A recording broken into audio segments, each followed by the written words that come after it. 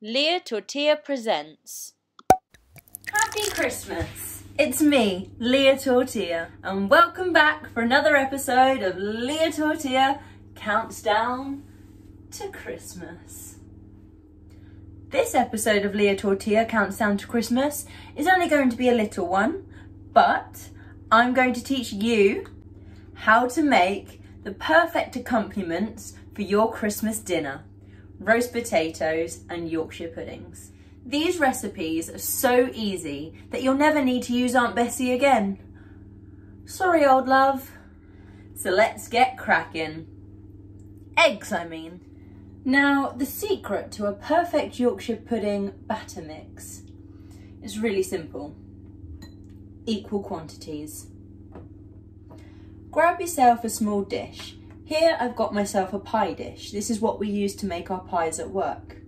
Now this is going to serve as our measuring instrument.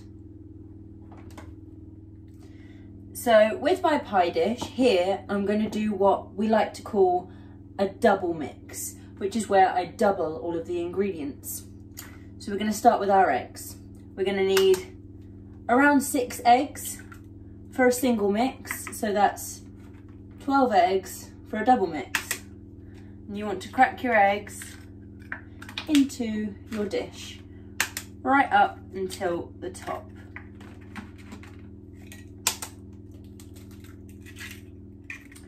So what I mean by equal quantities is, you see I've got six eggs here. So what would be the equal quantity of milk for six eggs? Well, you just fill this dish up with milk up to the same point you have the eggs. And you do the same again with the flour. It's really not that difficult. But as I'm doing a double mix, I'll fill the pot up twice. I'm just gonna pour the eggs into a bowl. Double mix, double the eggs. And like I said, it's the same with the milk. You fill your dish up, same level you had your eggs at, pour that in. Obviously I did it twice, so twice the amount of milk. Same again, in the bowl. And just like I said, equal quantities. So again with the flour, we fill our dish up to where we had our eggs and our milk. Put that in the bowl.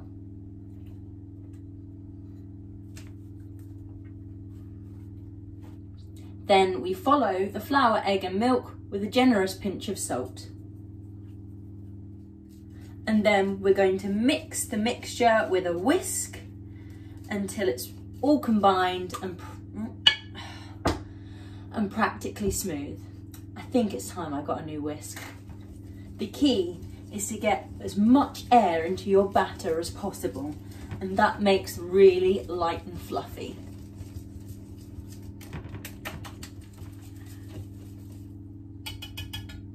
Once your batter mix is fully combined, you want to put it in your fridge and let it rest for at least 20 minutes. And while our batter is resting, we're going to fill our Yorkshire pudding trays or muffin trays like I've got here with a decent amount of plain vegetable oil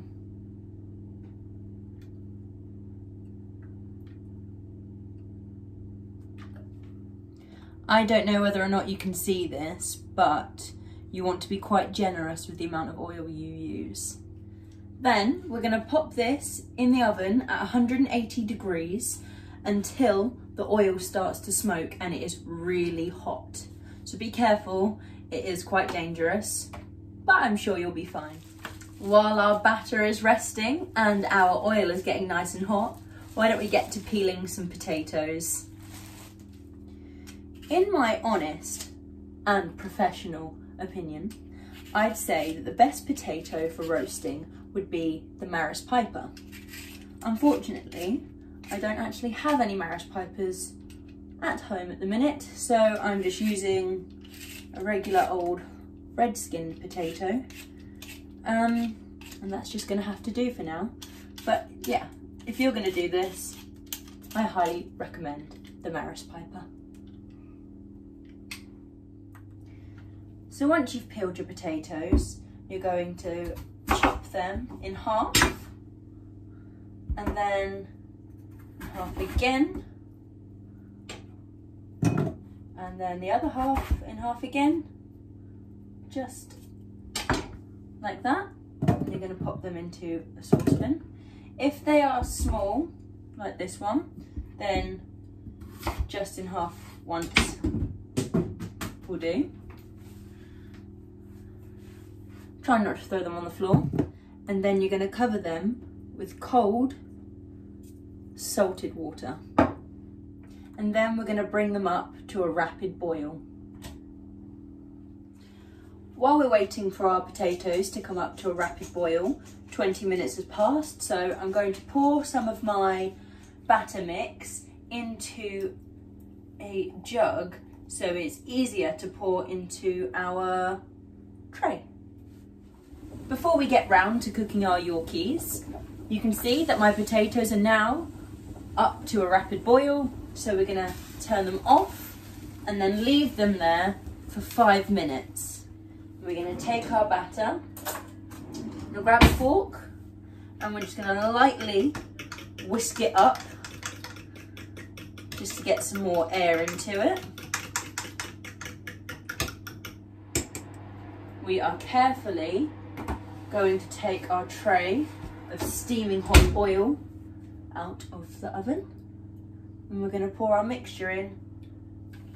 You should start seeing it and hearing it bubbling, fizzing. That's a good sign.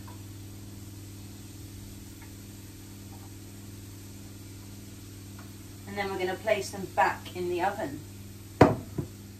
Now it's vital once your Yorkshire puddings are in the oven, do not open the oven door for anything or anyone for at least 15 minutes. Otherwise they'll sink and go like pancakes. No one wants pancakes with their roast dinner. But your Yorkshire puddings will take at least 25 minutes in the oven. So after five minutes, you want to drain your potatoes and we're gonna rough them up, get them nice and fluffy on the outside just by beating them up a little bit in the colander. Then we're going to put our fluffy potatoes in a tray and we're going to get them ready for the oven. When making roast potatoes, you want to make sure you don't overcrowd your tray. Make sure that there's plenty of space for them to wiggle around. Otherwise, your potatoes will just continue to steam and you'll end up with mash. Well, part roasted mash, and you don't want that. You want roast potatoes. So to prepare the potatoes for the oven, we're going to dress them with a splash of vegetable oil. Make sure they're well coated. Of course, we're going to add a sprinkle of seasoning, so salt and pepper. And then we're going to toss our potatoes in some fresh herbs. You can use dried, it's up to you. Here I've got rosemary, thyme and some crushed garlic. And I've actually kept the skins in there.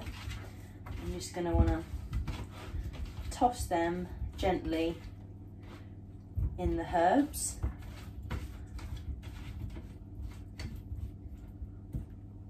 And then we're gonna add the thing that makes them the tastiest. And that's a big old lump of beef fat. You can use goose fat or whatever other fat you want to use, but here I've got beef fat and it's literally left over from when I had roast beef on Sunday. All I did was deglaze my pan that I cooked the beef in with some red wine and I passed it through a sieve and I put the liquid in a container and put it in the fridge and all the fat settles on top.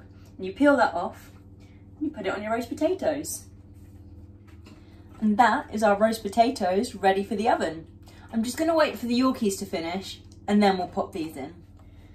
It's been about 20 minutes, so I'm gonna check on our Yorkshire puddings. Oh, They look spectacular. Honestly, you've never seen Yorkies like this. Come on, look at the size of it. It's bloody huge. So Yorkshire's out, roast potatoes in. I'm gonna crank the heat up to 200 degrees and hopefully they'll come out nice and crispy.